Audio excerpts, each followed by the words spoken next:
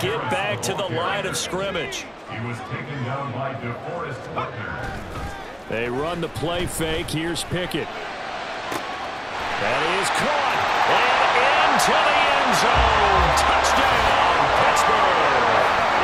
Allen Robinson, 39 yards. And the Steelers are within an extra point of tying up this ball game. Extra